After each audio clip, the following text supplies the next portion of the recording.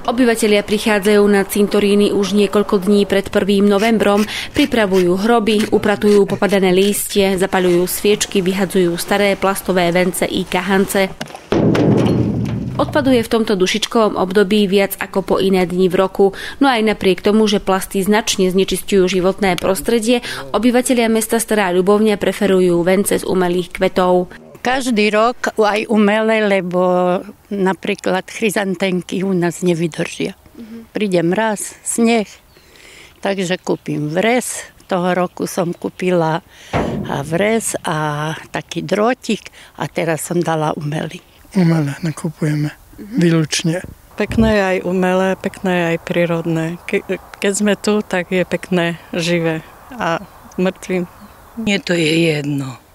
Jaké mám, také dám. V kvetinárstve na družbe ponúkajú široký sortiment náhrobných kvetinových výzdob. Vybrať si tu prišiel aj Jan s manželkou. Tu majú veľa umelých, nie?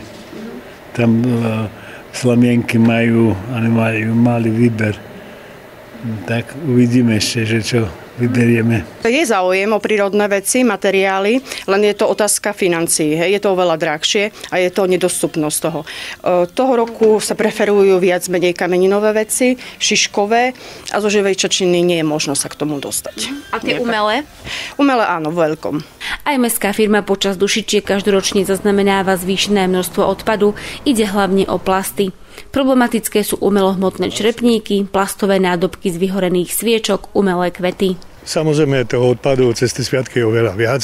To znamená, že my máme takú spoluprácu s firmou Ekos, zavoláme a oni prídu vyvesť ten odpad. Samozrejme, že tie prírodné materiály sú prírodné materiály, lebo nám ako našej spoločnosti to veľký problém nerobí, ale robí to tej zberovej spoločnosti. To znamená, že v podstate všetky tie umelé kytice, to je proste jednoducho strašne veľké zlo pre naše životné prostredie, čiže najideálnejšie sú všetky tie, eh, by som povedal, vence, alebo ja neviem, aj po prípade kvetinové e, e, dary nejaké e, robiť z prírodných materiálov. V Starej Ľubovni je zhruba 3100 hrobových miest. Brány troch cintorínov z práve príspevkovej organizácie mesta budú otvorené nepretržite do 13. novembra.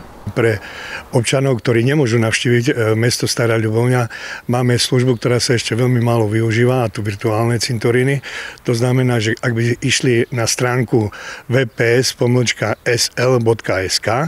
tam si ťuknú na e, odkaz Cintoriny a tam si potom môžete nájsť podľa datumu narodenia alebo rodného čísla alebo mena a prezviska v podstate, kde sa ten hrob toho pozostalého nachádza, ak by ste náhodou nevedeli, že kde, ale je tam aj taká možnosť, že keď nemôžete prísť do Starej Ľubovny, viete tam na tom hrobe zapáliť sviečku, kahanec alebo po prípade položiť kyticu.